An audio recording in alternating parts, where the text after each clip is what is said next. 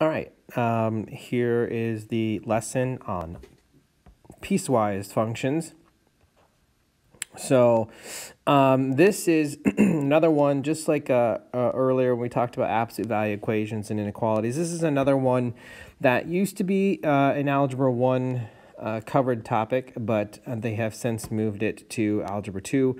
And so it's no longer taught in Algebra 1. And so this is uh, the first time we're really having to kind of go over it here in Algebra 2. But uh, piecewise functions generally, um, you know, some of your basic ones are just linear equations that um, are kind of fragmented. So um, when we see here that this function has um, a, a, certain behavior to it in uh, a certain domain, and then it behaves differently in a different domain.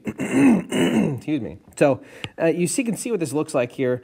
Uh, notice how you have um, the x minus 2 when x is less than or equal to 0. So I have uh, it behaving a certain way up until uh, the line reaches equal to 0 because that's less than or equal to 0. And so there's that. And then up, it picks up up here when x is greater than 0 in, in, a, in a completely different function. It's now going 2x plus 1. So um, that's the, the thing about piecewise functions is they are uh, basically pieces of functions. So you have a piece here and then a piece up here um, that are fragmented. The only thing that you got to pay attention to is pay attention to the domain. So that tells you where um, you know a certain function will start or stop. Um, and then also we need to pay attention to the equal to or if there's not an equal to. Uh, one that's got a line underneath it, an equal to line, will be a filled in dot, a solid dot. And one that uh, does not have the equal to line underneath um, will be an open dot. So we got to be, be careful when we're plotting these graphs that we do pay attention to the dots on there, as well as making sure that this ends at the appropriate spot. So we're going to go ahead and um, look at some of these. So the first thing we're going to do is just uh, evaluate. Now, uh, when you have a piecewise function, you have to understand that you have obviously different pieces and different domains. So when you're trying to evaluate, you need to uh, figure out um, do I plug it in the first one or do I plug it in the second one? Or in this case, there's a third one. So when I see f is 0, first of all, it tells me I'm using the f of x function. And then 0, I have to see, okay, um, is 0 less than or equal to 1 or is it greater than 1? Okay, well, obviously 0 is less than or equal to 1. So I know I'm going to be using this, and I simply just plug in 0. 3 times 0 is 0 and then minus 1 is negative 1. f of 1, now, um, you've got to be careful here because so which one is it going to fit in? Well, this one's less than or equal to 1. And since we have 1, um, that would be it. It would not be the second one because this is everything that's greater than 1. So it'll be the first one, and we're, so we're going to plug 1 in. Uh, 3 times 1 is 3, minus 1 is 2. Uh, and then 5, uh, 5 does put us over uh, greater than 1 now. So actually we're going to use this uh, function here to uh, plug in 5. So the 5 is going to go in for x there. And so basically I have 1 minus 2 times 5. Well, 2 times 5 is 10. So 1 minus 10 would be negative 9. Last, uh, we're not going to do all of these here, just going to do a couple of them uh, in the G one because it's essentially the same thing. But again, evaluating, you have to figure out, okay, G of X or G of zero, no, I know I need to use the G function. And zero, where does zero um, end up? Well, is it less than or equal to negative three? Uh, no. Uh, is it between negative 3 and 1? That seems like a likely fit here. 0 is between uh, negative 3 and 1. So in this case, there's nothing for you to plug it into. It's simply saying every number that is between negative 3 and 1 is simply just 2. So the answer would just be 2.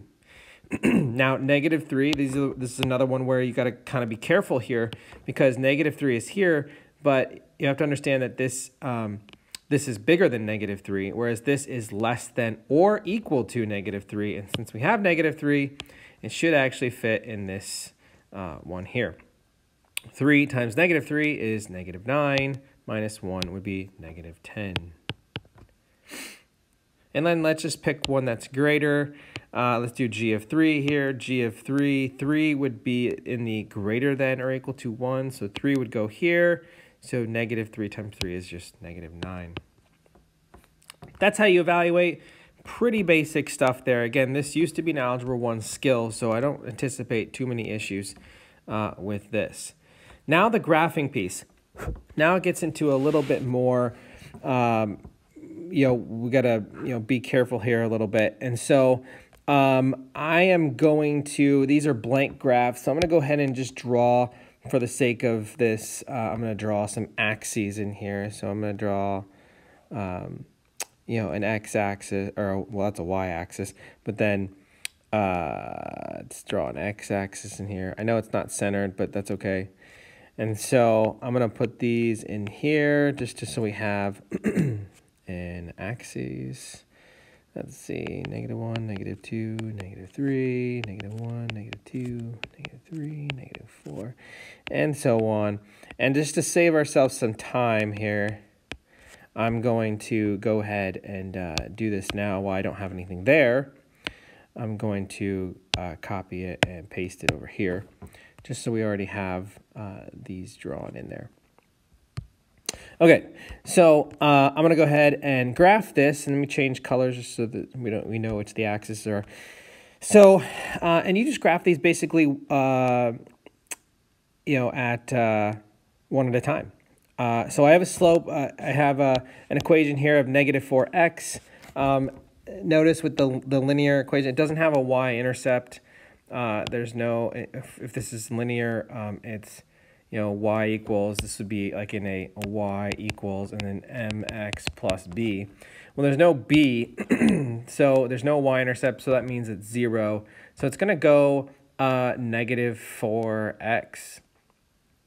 So I'm to graph negative 4x as slope. So starting at 0, uh, I'm to go uh, net down 4. Negative 4 is negative 4 over 1 or down 4 over 1. Um, so we got to be careful here uh, because this uh, is only for functions that are less than or equal to 0. So essentially, if I were to draw my line going through 0 and then down 4 over 1 and then kind of draw my line like that, like this, if that's my line, that would be the line. That would be negative 4x. That's, that's a graph of negative 4x. But um, it, it, if it's less than or equal to 0, then it's only going to be this part. Because when I get over here, now I'm getting uh, x is bigger than 0 because we're on the positive side. So this doesn't actually exist in this piecewise function because it only wants it less than. Less than is left, greater than is right, less than is left, greater than is right. Less than is left, so I need to go this way. I need to pay attention here too. Because it has the equal sign, then my dot should be filled in, which it already is. But now I need to kind of redraw this because the line should only go left like that. So notice how I do have a slope of negative 4 down 4 over 1, and it is going through 0, and it stops at 0, because this tells me that this needs to stop at 0. Now um, I have this function that's greater than 0, um, and that's at 4. So I know uh, because there is no equal to sign, uh, I know I'm to have an open dot. And in this case, uh, it's just a number. So if you remember back to um, types of equations here, because it has no x, this is a constant. So this is just a straight line greater than 0, uh, like that. So I know that this is uh, a little bit kind of hard to understand. What I always tell kids to do, because you'll often be using pencil, so what I always tell kids is to draw the line like it's supposed to be, and then just use your eraser to erase what it isn't. So like I could have drawn this whole line and then just erased, you know, what was not supposed to be there based on the domain. Um, and that's one way to do it if you want to do it just using pencil. Over here, so same thing. Uh, this one starts at 2, so we got to be careful there.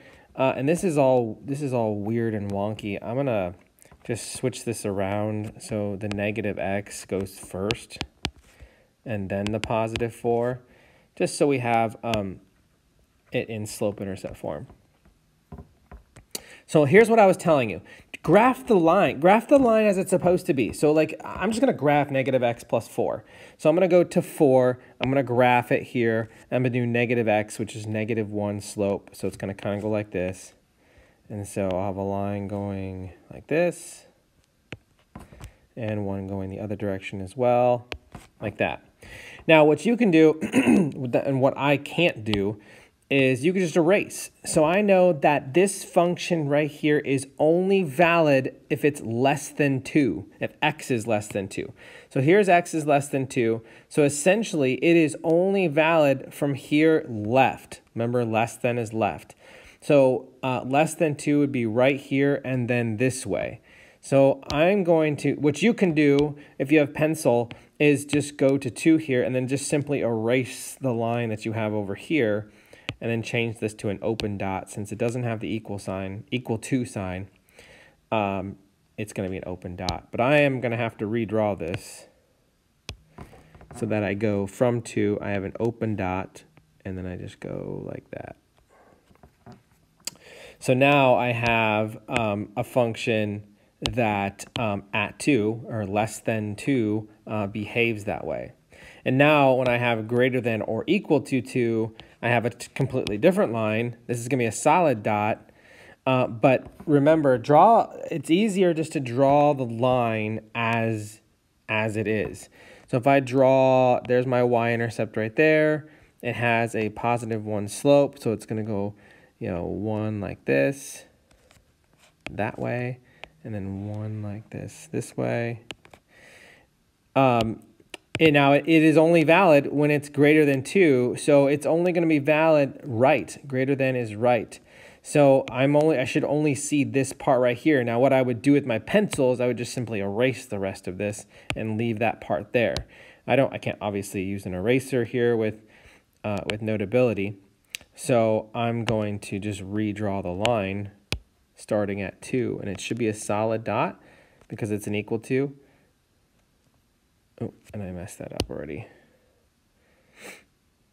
It should be right here. Yep. And then uh, it goes up like that.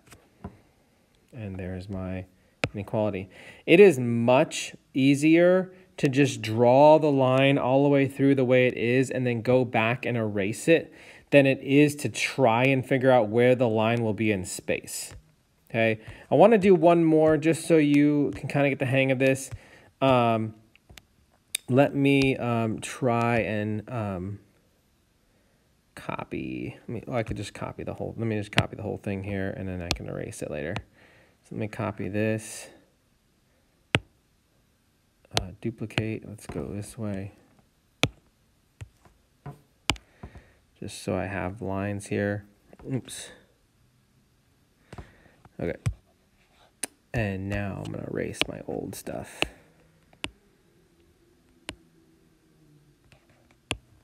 There you go.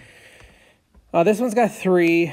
Um, so again, just do one at a time. I have a 2x if less the x is less than um, a negative 2. So again, just draw the line of 2x. Just, just draw the whole line. Don't worry about the domain. It is much easier to go back and erase than it is to try to figure out where it's supposed to be in space. So draw 2x. Since there's no y-intercept, I know that it starts at, uh, or it goes through the origin. 2x is going to be a slope of up 2 over 1. So this is how it's going to look. And now I'm just going to draw that line.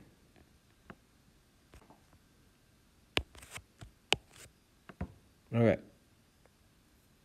So on there, um, we're going to now go um, and erase, essentially what you would do is erase um, where the domain isn't.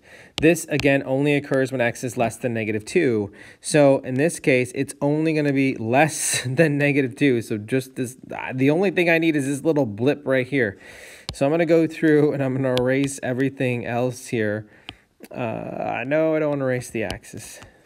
Let's see if I can get in here without, nope, without erasing, there you go. All that's going to be there is this, this little blip, like there. There is my, oh, and it's an open dot because it's greater than and not, uh, not greater than or equal to, or sorry, less than. So it's an open dot and then this way. So there's one of my functions. The next one is going to be between negative 2 and 2. I simply just have a value of 2. It is a constant, so a value of 2 would go like this, uh, across like that. Um, but it is only valid between negative 2 and 2, so it is only going to be valid from here to here. Whereas this side here, because I have an equal to, will be a solid dot. On this side over here, there's no equal to, so this will be an open dot. So basically, it's right there. So if you had your pencil, you would just erase everything left of 2 and everything right of 2. I don't have that luxury uh, to do that. So I'm just going to go from 2, negative 2, uh, with a closed dot over to positive 2 with an open dot. And now I got that one. And now I get negative 2x. Negative 2x um, is going to be going down. Uh, so negative 2x would start from the origin, go down 2 over 1 like that. And so I'm going to keep going backwards too. And so I get a line that looks like this. And it's only when x is greater than 2. So just like the one over here, greater than 2, greater than or equal to 2, is just this little blip over here uh, so everything else would be erased except for that little blip there. I don't have the luxury of just erasing, so I'm just going to go through and and then draw it going this way, like that. And so there's my piecewise. That's it. Uh, we don't get really into word problem piecewise functions, so I wouldn't worry too much about that right now. Uh, but that's how we do piecewise functions. So hope be, hopefully that uh, that helps. All right.